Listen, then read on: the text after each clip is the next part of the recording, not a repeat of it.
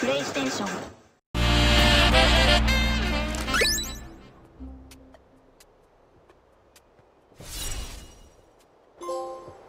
First thing we need to do is find your crown, Ice King.